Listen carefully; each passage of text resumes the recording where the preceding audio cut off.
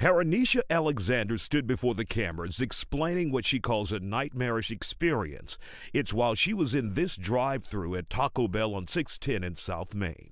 I got a third degree burn. I might have to have one surgery, or I may not. There's a bandage on the neck of the 19 year old. She says that's after she, her boyfriend, and another friend were physically assaulted by an employee and manager at the Taco Bell.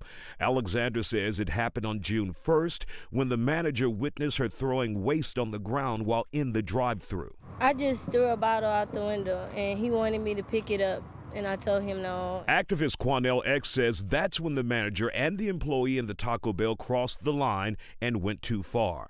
He says employees threw a drink on the customers while they were in their vehicle, which prompted Alexander and her friends to enter the fast food joint. Some employees here at Taco Bell decided to throw hot boiling grease on her and her boyfriend the other young man that was with them was also stabbed with a butcher knife by one of the employees here at Taco Bell. How bad were those burns from the grease? Take a look at these disturbing photos from Alexander's family. One is the back of her 17 year old boyfriend, Johnson Moore, who remains in the hospital with the injuries, and the other is her burns. But Police say the employees have told HPD a different story.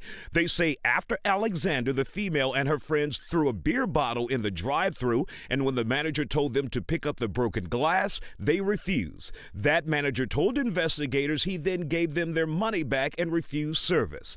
That manager then says the group came into the restaurant and punched him in the face and started throwing furniture around. They say that's when an employee threw grease on one of the occupants of the car car. That manager then said five hours later, Alexander returned and threw rocks at their window, breaking it.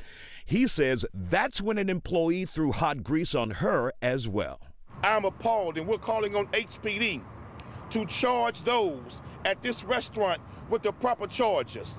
What's taking you so long to indict these employees and charge them appropriately with throwing boiling hot grease on disgruntled customers over an argument over food? While the press conference was going on, seven days after the incident, an employee at Taco Bell called the police, and that's when they questioned Alexander more about the incident. But after about 20 minutes, the 19 year old was released.